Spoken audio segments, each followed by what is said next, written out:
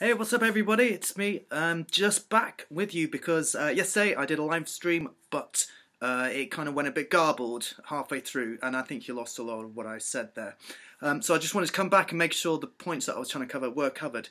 Um, so just to sum up what I mentioned yesterday about the two demonstrations that are gathering against uh, Tommy Robinson on Sunday, that's the 9th of December um, have now come together, which is good. We need unity when we're fighting the fascists uh, because the fascists win if we are divided. Uh, so that means people that are coming together that oppose uh, leaving the European Union, so the Remainers, um, are coming together to march alongside people that want to leave the European Union, the Leavers, uh, Brexit supporters, who oppose Tommy Robinson and oppose UKIP and oppose the sort of racist, fascist ideas uh, that those guys represent. So that's a good thing. So Leavers and Remainers are marching together because the demonstration, which Tommy Robinson called uh, and UKIP have called, um, is nothing to do with Brexit, even though they're trying to say that it's to do with Brexit.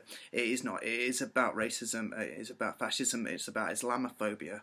Okay. Now you might say that uh, you know I'm some crazy lefty who likes to throw away throw around the term um, uh, uh, racist or, or fascist just to call anybody that I don't like that word. That is not true. That is not the case. Uh, that's a very important word. Uh, and it, well, those are two very important words that need to be used only in their correct use uh, when describing uh, what they uh, what the definition of those words are. Now, Tommy Robinson is a fascist. He's a fascist uh, because he wants us to target Muslims. He wants to target people of another faith. He characterises those people of that faith by the clothes that they wear, uh, by their skin colour, by other languages that they might speak, um, you know, what they might wear at the beach um, where they pray, where they worship, um, uh, what they eat, that sort of thing. To me, that sounds like a fascist ideology. So he wants us to uh, to be well to either question those people or essentially remove them from the country or stop them from travelling. Now think about it. So he wants to control what people wear. He wants to uh, control what language people use. He's, he wants to um, control whether people can move around different countries or move around this country. He wants people to be targeted because of the colour of their skin or because of the religion that they worship. Uh, and because, like, that sounds to me like fascism. Uh, and I'm sure if we look that up in the dictionary, we'll find a very similar description there. So, um, if you put it like that, I, I mean, some people will say uh, it's you know it's not racist to question Islam because Islam's a religion, but think about it: the religion is characterized by differences uh, which are based on, uh, in some cases, and an, an, ethnic background difference as well. But I mean, these are British people, though. You know, the majority of Muslims in this country are British. They're second, third, fourth generation here. Um, and Tommy Robinson wants to suggest that they've just suddenly turned up. Uh, not only that, he also wants to turn away refugees at the border, which is absolutely disgusting in my opinion, because refugees are here because of wars and because of disasters which have been started by the West, by the Western governments.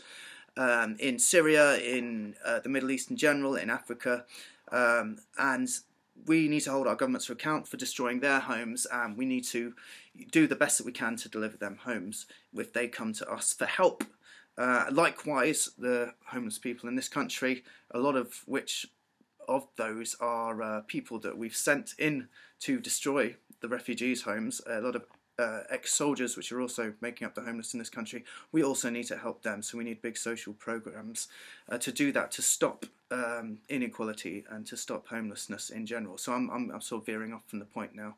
Um, so Theresa May's Brexit deal, I reject it. You reject it. Everybody rejects it. It's terrible. Uh, it gives us full control. Well, it gives the EU full control of our economy, and it stops freedom of movement. Uh, I mean, for me, Brexit would be better the other way around. We want to completely remove any economic uh, rule from, of the EU over Britain, um, but to increase uh, freedom of movement to not just uh, white Europeans, but to anybody that wants to travel uh, anywhere, essentially, because that's what humans have been doing since the dawn of history. Um, Theresa, so yeah, Theresa May's deal, terrible, reject it. I'm against that. The demonstration on Sunday is not about that. The demonstration on Sunday uh, is about uh, opposing Tommy Robinson and stopping him from hijacking the Brexit cause. Um, as you can see, recently, hopefully, that uh, Nigel Farage has left UKIP. Paul Nuttall has left UKIP. Uh, a, a, lot of prominent UKIP members are not happy with Gerard Batten, the current leader's uh, sort of appointment of Tommy Robinson as a as an advisor. Um, so you know this is a troubled time for UKIP. Either they're heading towards a very far right direction, um, which is which will you know bring them in line with Tommy Robinson's fascist views, which can be very dangerous, as there are uh, a lot of sort of rising fascist forces across Europe already that they could align themselves with.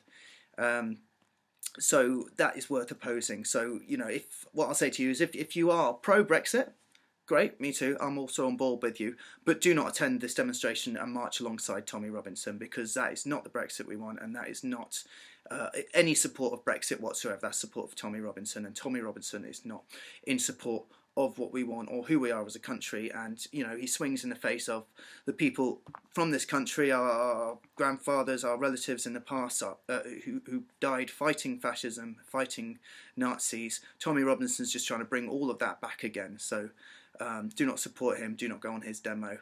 Uh, likewise, don't support UKIP. Um, so what I'll say is um, obviously, continue to show your support for Brexit. Continue to uh, show your uh, lack of support for Theresa May's Brexit deal.